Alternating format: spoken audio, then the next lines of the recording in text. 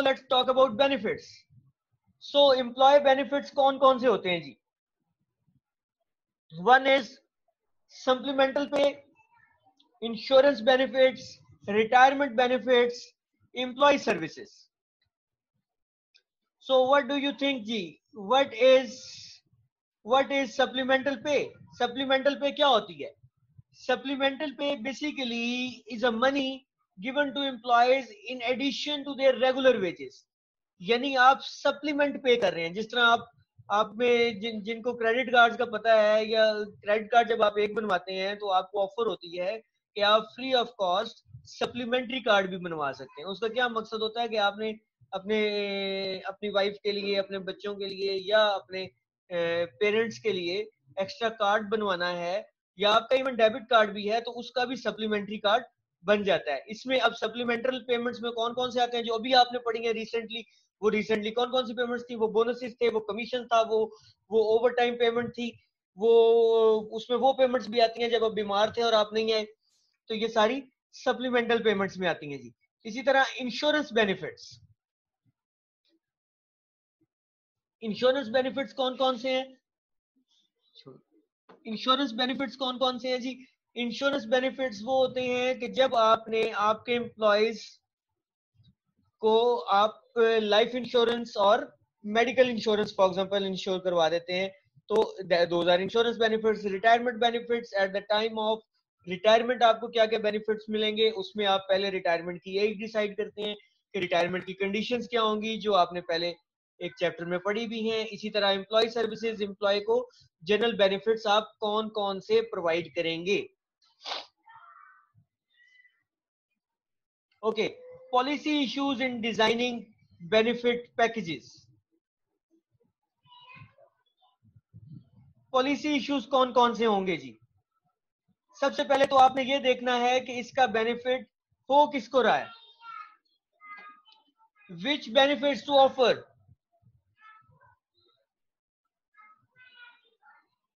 who will be covered देखिए, क्या benefit होगा? कौन उस बेनिफिट से कवर हो रहा है? वेदर टू इंक्लूड रिटायरीज क्या रिटायर्ड लोगों को उस बेनिफिट में इंक्लूड करना है? ठीक है कवरेज ड्यूरिंग प्रोबेशन प्रोबेशन के दौरान आप कवरेज दे रहे होंगे या नहीं दे रहे होंगे? हाउ टू फाइनेंस बेनिफिट्स इन बेनिफिट्स को जो आप डिसाइड कर रहे हैं, उनको फाइनेंस कैसे किया जाएगा? Right degree of employee choice employee को उसमें कोई चॉइस दी जा रही है इधर they want to avail it और नॉट और this is open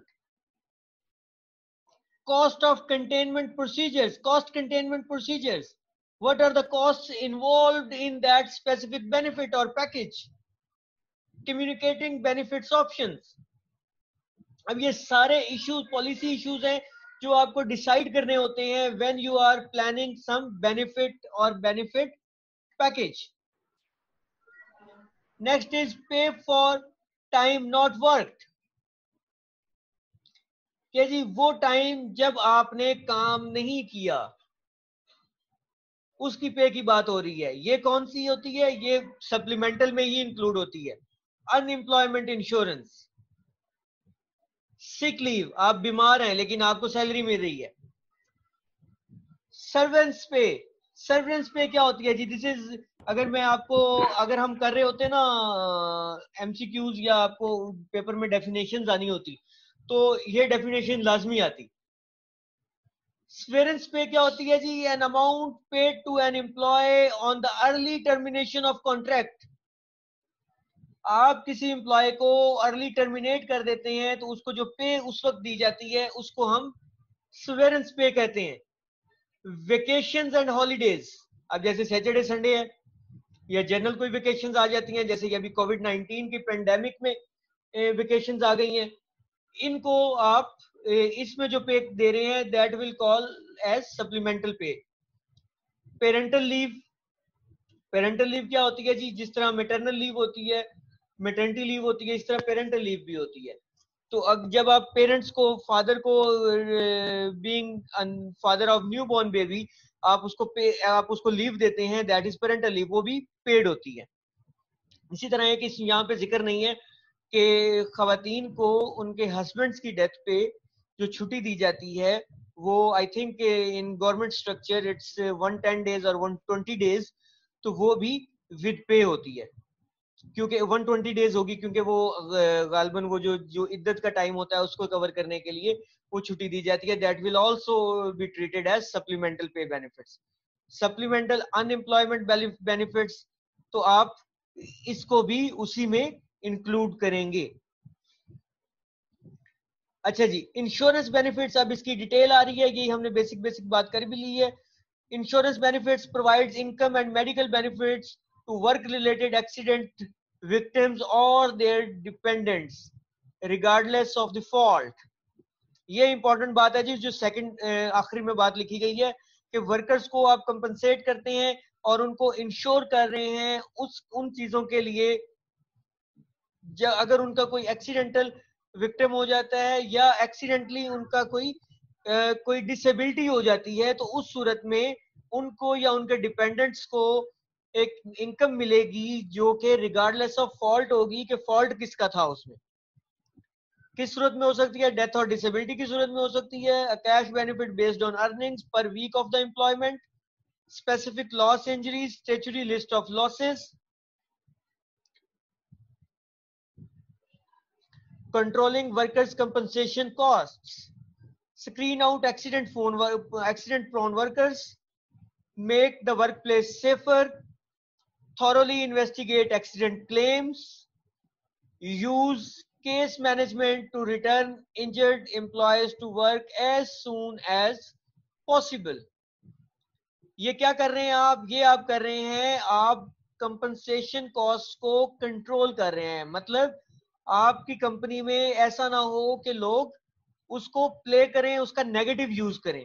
तो इसलिए it's your duty to make your workplace safer it's your duty to thoroughly investigate accident claims so that if there is some mistake or problem at company's end that accident will not repeat within your organization. Okay.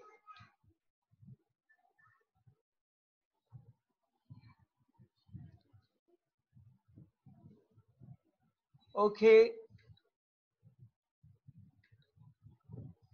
trends in trends in healthcare cost controls. Care cost control आप कैसे कर सकते हैं?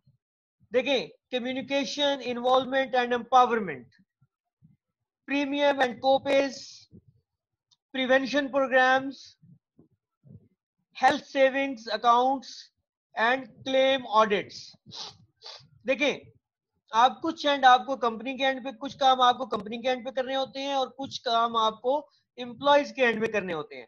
जैसे premium and copays prevention programs health saving accounts आप उन, देखें, आप कंपनी पे बर्डन डालने डाले बगैर आप ऐसा प्लान करते हैं कि आप हेल्थ सेविंग अकाउंट्स बना लेते हैं। और जो भी क्लेम करता है, उसके प्रॉपर ऑडिट्स होते हैं ताकि कोई उसकी हेल्थ हेल्थ बेनिफिट्स के लिए कोई उसको नेगेटिव यूज़ ना कर रहा हो। और ये होता भी है अक्सर। अदर कॉस्ट कंट्रोल ऑप्शंस कौन कौन सी हो सकती हैं जी? Controlling health care cost automating health care plan administration क्या मकसद है जी इसका? Automating health care plan administration यानी आप हेल्थ केयर प्लान को ऑटोमेट कर रहे हैं। ऑटोमेट करने का मतलब ये है फॉर एग्ज़ाम्पल फॉर एग्ज़ाम्पल आप एक इंश्योरेंस कंपनी के साथ प्लान करते हैं और उस इंश्योरेंस कंपनी के साथ प्लान में आप ये डिसाइड करते हैं कि आपके एम्प्लॉय को एक कार्ड दिया जाएगा जो स्पेसिफिक हॉस्पिटल्स में यूज़ होगा।